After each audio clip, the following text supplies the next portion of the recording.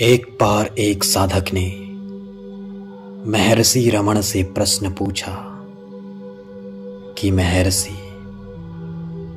मन का स्वरूप क्या है? तब महर्षि उत्तर में कहते हैं, जिसे तुम मन कहते हो, वह मन नहीं है। वह आत्मा में निवास करने वाली एक आश्चर्यजनक शक्ति है। इसी से सभी विचार उदित होते हैं और विचारों के अतिरिक्त मन जैसी कोई चीज़ है ही नहीं। इसलिए विचार मन का स्वरूप है। विचारों के अतिरिक्त जगत का कोई अलग अस्तित्व नहीं है।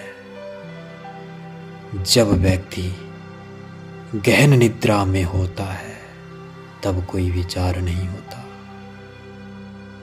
तब कोई जगत भी नहीं होता है, चाहे जागृत हो या स्वप्न हो।